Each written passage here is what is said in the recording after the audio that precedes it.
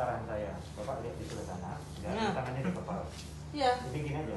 Nah. Ini, ini jarumnya. Iya. Bro. Ini, apa? Apa itu? Itu masih swabnya loh? Ini biut ini nih, Pak. Iya, Pak. Terus ya biar nggak terasa, makanya nengoknya ke sana. Ih, bandel. Oh, ya.